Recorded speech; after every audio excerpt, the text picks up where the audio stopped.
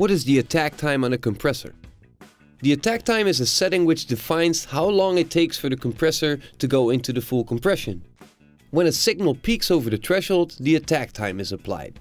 So if we have transient sounds which are short, high amplitude sounds, then the compressor needs to be set to a fast attack or else it won't compress at all. So if we have a snare drum or anything like percussive, uh, we need to have a fast attack or else the compressor will be too slow. In the case of vocals, for example, which are uh, more sustained sounds or uh, pretty unpredictable sounds, if you may say, setting the attack time too fast will sound really unnatural and, and, and unpleasant. Um, in that case, we need to have more of a medium type of attack.